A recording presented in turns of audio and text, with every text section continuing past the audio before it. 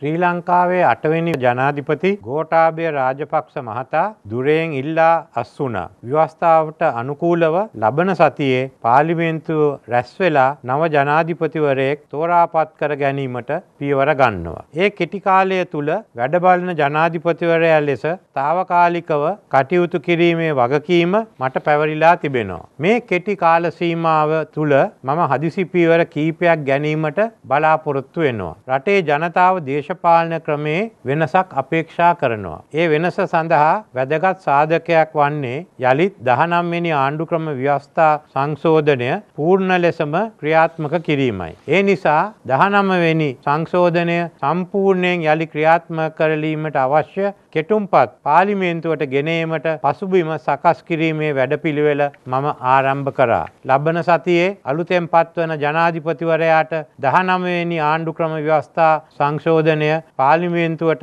කඩිනමින් ඉදිරිපත් කිරීමට අවශ්‍ය පසුබිම් මේ කෙටි කාලය තුල සකස් කරනවා. ඒ වගේම රටේ නීතිය හා සාමය තාපිත කිරීමට වහාම පියවර ගන්නවා. සාමකාමී අරගලය කිරීමේ අයිතිය මම 100%ක් පිළිගන්නවා. නමුත් තවත් සමහරු කඩාකප්පල් ක්‍රියා කරන්නට උත්සාහ කරනවා. තවත් කණ්ඩායම් ලබන සතියේ පාර්ලිමේන්තුවේදී නව ජනාධිපතිවරයා තේරීමේ අවස්ථාවේදී මන්ත්‍රීවරුන්ට බලපෑම් කිරීමේ උත්සාහයක් දරන්නට සූදානම් වෙන්න බවට වාර්තා වී තිබෙනවා. මන්ත්‍රීවරුන්ට ස්වාධීන තම මතය ප්‍රකාශ කිරීමට අවශ්‍ය පරිසරය අපි සකසා දෙනවා. ඔවුන්ට පූර්ණ ආරක්ෂාව සලකනවා. පාර්ලිමේන්තුවේ ප්‍රජාතන්ත්‍රවාදය විනාශ කිරීමට කිසිම කණ්ඩායමකට අප කිසිවිටක ඉඩ දෙන්නේ නෑ. ෆැසිස්වාදී ක්‍රමවේදී ඔස්සේ රට ගිනි තැබීමට වෙරදරණ කණ්ඩායම් ඉන්නවා. පාර්ලිමේන්තු අසලදී ආරක්ෂා හමුදාවන්නේ තුවක්කු දෙකක් වෙඩියුන්දක් සමග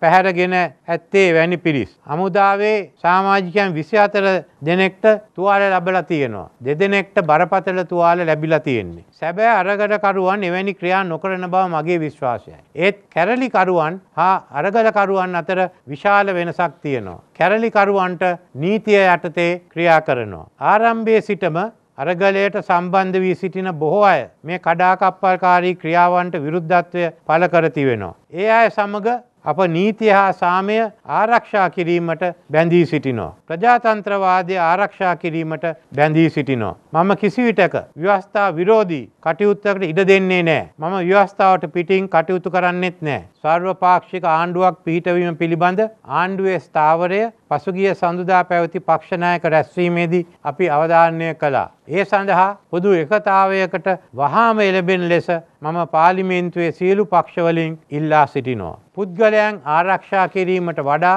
රට ආරක්ෂා කිරීම ගැන සිතන්න. මේ ව්‍යාකූල තත්ත්වයෙන් රටත් ජනතාවත් බේරා ගනිමු. ඊට පසුව පක්ෂ දේශපාලන වෙත හැරමු. වැඩබලන ජනාධිපති හැටියට මට පැවරී ඇති බලය අනුව මම තව තීන්දු දෙකක් ගන්නවා. ජනාධිපති හැඳින්වීම සඳහා අතිගරු යන වචනය යෙදීම නිල වශයෙන් තහනම් කරනවා. ඒ වගේම ජනාධිපති කොඩිය අහෝසි කරනවා. රටකට තියෙන්ට ඕන එක කොඩියයි. ජාතික කොඩිය විතරයි. අප ඉදිරියට යා යුත්තේ එක කොඩියක් එක සෙවන ලබමින්. ඉතින් අලුත් යුගයක් අලුත් ක්‍රමයක් ආරම්භ කිරීමට අප හැම දෙනාම පූර්ණ ශක්තිය සහ පූර්ණ සහය ලබා දෙමු. පුරවැසියන් ලෙස අපි හැමෝම මේ මල්වට්ටියට අවංකවම අතගහමු. අවසාන වශයෙන් තව දෙයක් සීපත් කරන්නට කැමතියි. අදට මාස දෙයකට පමණ කලින් මැයි මාසේ දහතුන් වෙනිදා මම රට වෙනුවෙන් බරපතල තීරණයක් ගත්තා. මම මේ බරපතල තීරණ ගත්තේ මේ රටේ මිලියන විසි දෙක ජනතාව ගැන හිතලා. පාලිමේන්තුව විසින් අලුත් ජනාධිපතිවරයෙක් පත් කරන තුරු.